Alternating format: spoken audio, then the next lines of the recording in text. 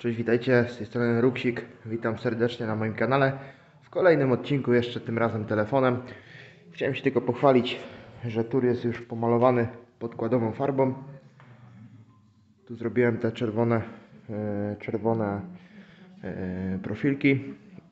E, widły już też mam pomalowane podkładem i wyśrutowane, pomalowane podkładem wypiaskowane, o tak. No i co? Przeróbki, dzień kolejny.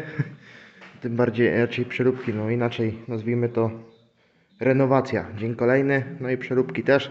Dzisiaj zajmę się chyba montażem yy, montażem yy, rozdzielacza w środku. Jeszcze nie wiem gdzie go umiejscowię, ale coś tam w kolejnym odcinku Wam pokażę. Już wtedy chyba nagram kamerką. Tak to się prezentuje. Piszcie, czy chcielibyście oglądać takie vlogi, czy nie. Bo dla mnie to jest bardzo ważne.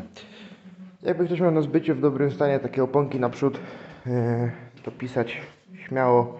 Tu jeszcze będziemy przerabiać, będziemy te widły zmieniać. Te widły, no te yy, od koła, nie wiem jak to się fachowo nazywa.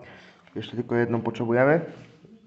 No i lampy, nie? Lampy naprzód jakieś chyba LEDowe też założę żeby lepiej wyglądało. I dzisiaj może jeszcze dach pomaluję na biało. Dobra, to co, trzymajcie się. Myślę, że Wam się taki odcinek spodobał. Wytłumaczyłem co i jak. Jak wyglądało, jak wygląda teraz. Jeszcze Wam pokażę z daleka. Mi się podoba. Jest tacy.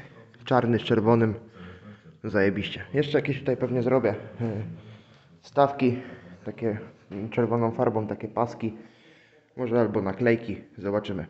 No to co? Zostawcie łapkę w górę, subskrypcję i piszcie komentarz, czy Wam się podoba, czy nie. Do zobaczenia.